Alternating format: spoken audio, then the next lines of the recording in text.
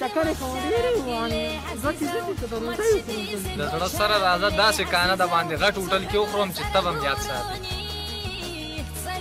د زړه سره کېنه کېنه چې دلته کېنه دا ولې جي دغه ګورې ففم ففم خو خیا به ترالو خچي ارشه شته مو سره لرکا مړه دا د سر اړل خو صحیح په پښتو کې راته وای چې سده پخ کړي یار دا سې دي زه په دې پوهېږم جیوې مته ښه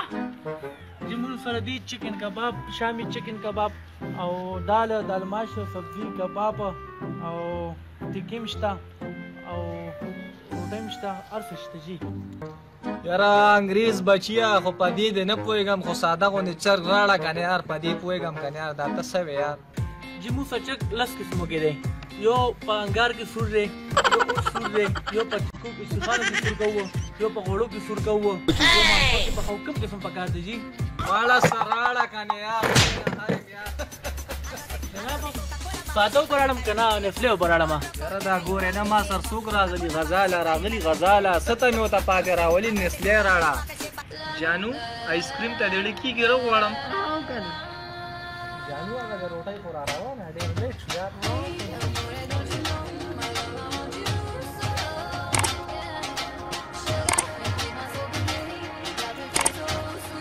ویټره راشه د الوخي یو سه یار ها جناب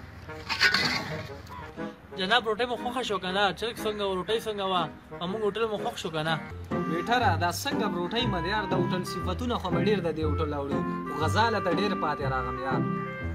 سر زموږ د هوټل خو ډیر غټ غټ لومونه دي ډیر لري لري نه خلک راځي او موږ څوک ډیر مشهور څوک دی ډیر لري لري نه خلک راځي دلته نه وړي وړي ملګري مراولي او تاسو ته خوښ نه شنو په دې سوم چې ټول مو خوښ نه شي په کیسو کتارو دې نه پوهېږم ویټر ابل راړه چې زه ملا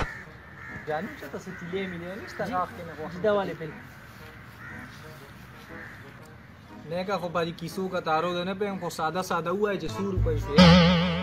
جناب دا شوې 700 روپۍ د چرګ فلو په بشوي 50 روپو رته 50 روپو فلات او 50 روپۍ د عمران خان ټوټل شوې 950 روپۍ